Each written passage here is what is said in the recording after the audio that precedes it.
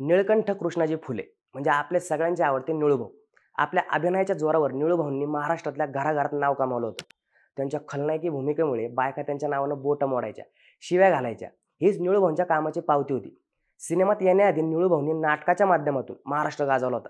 नाटकांमध्ये त्यांनी आपल्या अभिनयानं अशी वचक बसवली होती की त्यांच्या एंट्रीशिवाय नाटकाला रंग चढत नसायचा. असंच एक नाटक मराठी नाट्यसृष्टीत भयंकर वळण आणणार होतं सखाराम बाइंडर हे पात्र साकारण्यासाठी घाणेकर लागून नकार दिला होता.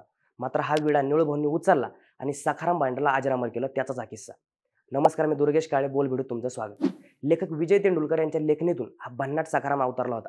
वाईमधल्या एका खानावळीत ओरिजिनल सखाराम तेंडुलकरांना भेटला होता. त्याची बोलण्या चालण्याची पद्धत आणि एकदम खरं बोलण्याची त्याची स्टाईल हे बघून तेंडुलकरांनी या सखाराम पात्राला समोर ठेवून नाटक लिहिलं. नाटक लिहून झालं होतं. कमलाकर सारंग हे नाटक दिग्दर्शित करणार होते. हे नाटक श्रम लागू किंवा काशीनाथ घाणेकर या दोघांपैकी कोणतरी करावं अशी लेखक दिग्दर्शकाची इच्छा होती. लागून हे नाटक करावं. कारण लागून सोबतच्या झालेल्या चर्चेत विजय तेंडुलकरांना या सखाराम पात्राचा धागा मिळाला होता. मात्र लागूनने दुसऱ्या नाटकाचे प्रयोग आहे म्हणून सखाराम मांडला नकार कळवलं. तर दुसरीकडे काशनाथ घाणेकर हे सिनेमाच्या शूटिंगमध्ये व्यस्त असल्याने त्यांनी जमणार नाही असं सांगितलं. आता प्रश्न होता सखाराम मांडरची भूमिका कोण करणार? त्या काळात निळू भाऊंनी साकारलेला झेले अण्णा प्रसिद्ध झाला होता. तेव्हा शेवटी निळू फुलेंचं नाव साकारांसाठी फिक्स झालं. निळू भाऊंना सुरुवातीला हे पात्र नक्की काय हेच समजत नव्हतं. विजय तेंडुलकरांचे विशिष्ट लयीतले संवाद या सगळ्यांमुळे निळू भाऊ गोंधळून गेले. शेवटी त्यांनी तेंडुलकरांशी चर्चा करून हे पात्र जगण्याच्या चौकटीत न बसणारं पण खरं बोलणारं हे समजून घेतलं. नाटकाचे प्रयोग सुरू झाले आणि सुरुवातीला निळूभाऊंनी नाटकात जो ग्राफ उंचावर नेला तो बघून प्रेक्षक प्रचंड दाद देऊ लागले. या नाटकातले संवाद निळूभाऊंनी उत्तमरित्या वठवले.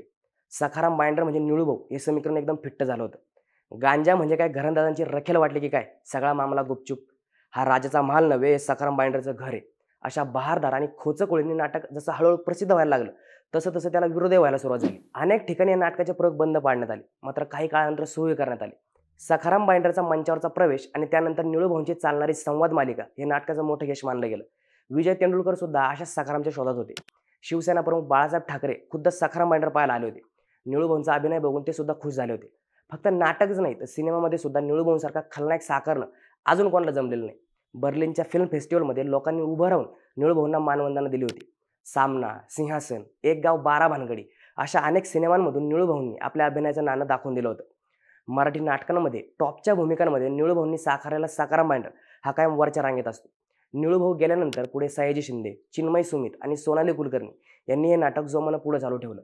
निळूभाऊंनी साकारायला सखाराम बाइंडर या नाटकाचा फक्त एक ते दीड मिनिटाचा भाग युट्यूबवर आहे. मात्र ज्या लोकांनी नाटक प्रत्यक्ष पाहण्याचं भाग्य मिळालं ते मात्र विशेष. लागून यांनी घाणेकरांनी नाकारलेला सखाराम बाइंडर निळूभाऊनी इतका मोठा केला की ते पात्र आयकॉनिक आणि आजरामर पात्र म्हणून ओळखलं गेलं. निळू फुलेंच्या भन्नाट किस्स्याप्रमाणे इतर कोणत्या कलाकारांचे किस्से तुम्हाला ऐकायला आवडतील ते आम्हाला कमेंटमध्ये नक्की सांगा आणि बोल बीडच्या यूट्यूब चॅनलला सबस्क्राईब करायला विसरू नका.